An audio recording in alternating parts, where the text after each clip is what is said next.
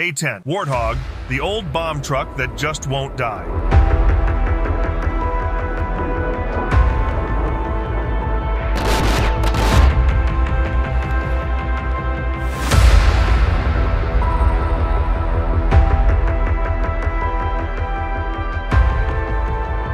The A-10 Warthog is a tank-killing aircraft, has continued to play a crucial role in the U.S. Air Force, having recently participated in a live surface combat air patrol with warships in the Gulf of Oman. This unusual use of the platform, which has not been frequently used in the maritime arena, is a testament to its legendary reputation in the aviation community and its ability to overcome calls for its retirement. The A-10 Warthog was designed to improve the performance of the Douglas A-1 Skyraider, which had become vulnerable to enemy fire and lacked conventional attack capability after the Vietnam War.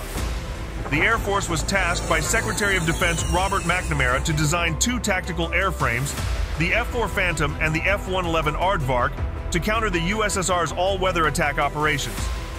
The A-10 prototype was developed under the AX program, culminating in the A-10 prototype. The A-10 is best known for its GAU-8 Avenger 30mm Gatling gun and its wide combat radius and short takeoff and landing capabilities, allowing it to operate close to the front lines of battle.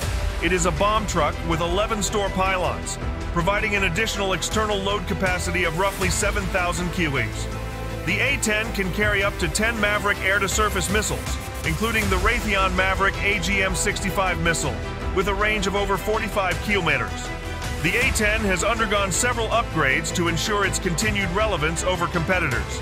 In the early 1980s, the first two A-10s assigned to Eielson were painted with Arctic camouflage, while the white-painted A-10s were given the nickname Snowhogs. Although the Snowhogs did not fully adopt the white color scheme, the A-10 compensates for their absence.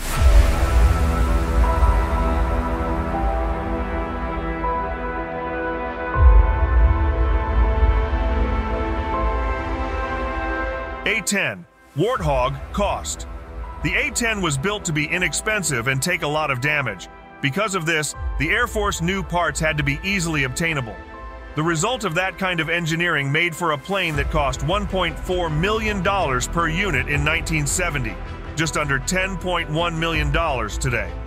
That may not sound cheap, but compared to other aircraft with close air support capabilities, like the F 35 Lightning II, 101 million, or F 15EX Eagle II, 87.7 million, it seems more like a bargain. In terms of cost per hour of flying time, the Warthog seems even cheaper. Flying an A-10 for an hour costs taxpayers a mere $19,000, while the F-35 costs $44,000 per flight hour. The A-10, of course, isn't designed for stealth or air superiority, so it is also more susceptible to incoming enemy aircraft. You get what you pay for.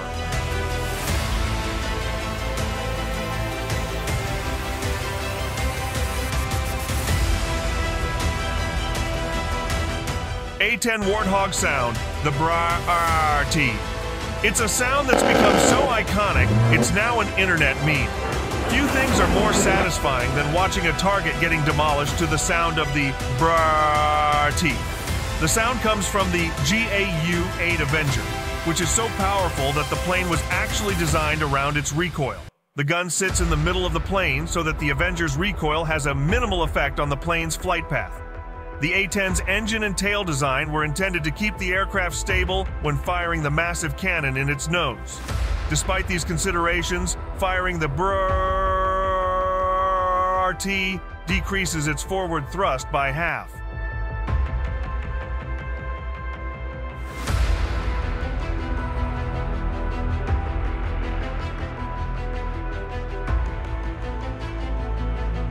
A-10 Warthog top speed, most new aircraft in the past few years have been supersonic fighters, capable of 1.6 Mach F-35C, 1.5 Mach F-22 Raptor, or Mach 2.5 F-15EX. Meanwhile, the A-10 Warthog's top speed is just 420 miles, a fraction of those incredible speeds. Close air support, like the kind the A-10 was supposed to provide, meant the Warthog needed to be protected while fighting close to the enemy's small arms. This means the A-10 needs to be able to fly low and slow, so supersonic speeds make little sense for its mission. Often, it also means getting close enough to the action that it takes a powerful amount of damage from the ground, which it was also designed for. The aircraft is so survivable, it can land without its gear down, without hydraulic assistance to the pilot, who sits in a titanium tub, and its fuel tanks are protected by a layer of foam to prevent explosives.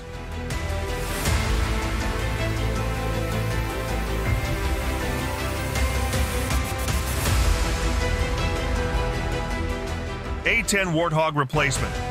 The Air Force argues that such a slow-moving and single-role aircraft is not necessary for today's battlefields. The A-10 wasn't built to fly against today's air superiority fighters like China's J-20.